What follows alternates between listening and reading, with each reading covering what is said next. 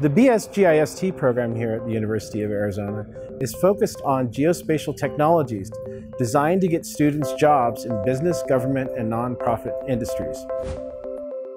What makes the BSGIST programs unique is that we have not only created a series of courses geared to fit around science, technology, and innovations in the industry, but we've also specialized our areas in applications technologies to help students obtain jobs, in areas that are, are in high growth and high demand, such as remote sensing technologies, drones and LiDAR, as well as web and mobile technologies for geospatial applications.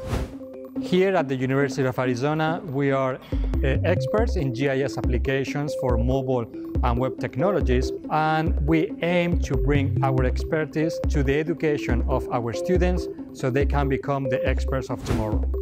For my project, I'm mapping cell phone signal in the Tucson Mountains. The process of actually acquiring the data involves a Trimble device, and I take the latitude and longitude of those points. I'm going to compare it against a viewshed analysis and essentially see what the correlation is between the viewshed and the cell phone signal strength at those points.